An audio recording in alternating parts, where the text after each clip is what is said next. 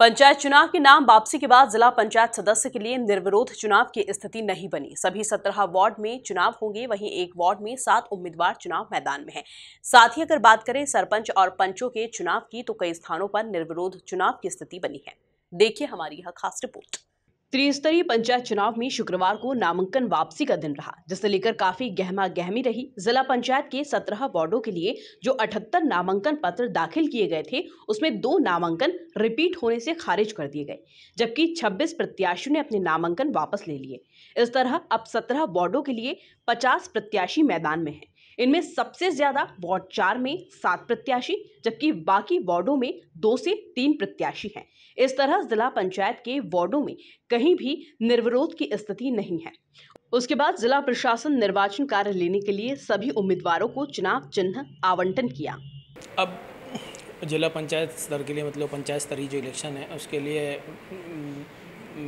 Match खेलने की तैयारी हो चुकी है।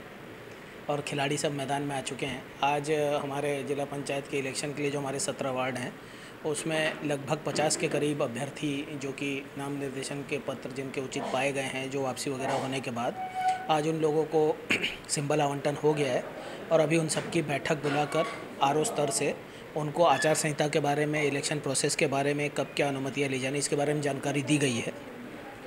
एक चीज़ अच्छी है कि वो अच्छी कहें या जैसा भी कहें, परंतु एक चीज़ सत्य है कि इस इलेक्शन में खर्चे की कोई सीमा या बाध्यता नहीं है, अभी नहीं है, हो सकता है आगे कभी हो।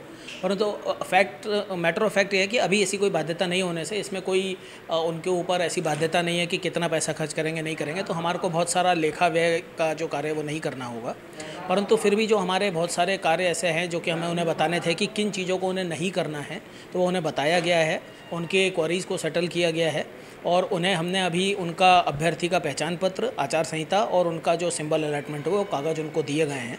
और उन्हें बताया गया है कि पुलिस प्रशासन चुनाव को निष्पक्ष और शांतिप्रिय पूर्ण से, तरीके से कराने के लिए कटिबद्ध है और हम लोग कलेक्टर महोदय के नेतृत्व में पूरी मेहनत के साथ इस चुनाव को निष्पक्ष रूप से सभी अभ्यर्थियों के सहयोग से पार करेंगे, ऐसी मुझे पूरी उम्मीद है।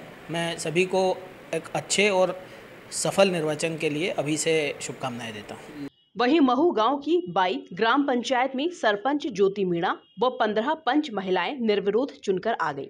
यह छोटी खुड़ेल के बाद दूसरी महिला पंचायत का ऐसा मामला है। वहीं सावेर जनपद के वार्ड सत्रह व उन्नीस भी निर्विरोध निर्वाचन हो गया। वार्ड सत्रह से भाजपा प्रत्याशी श्रीमती रामकन्या, पति मानसिंह चौहान और वार्ड उन्नीस से संगीता, पति रमेश पटेल निर्विरोध चुनी गई bureau report MP news Indore.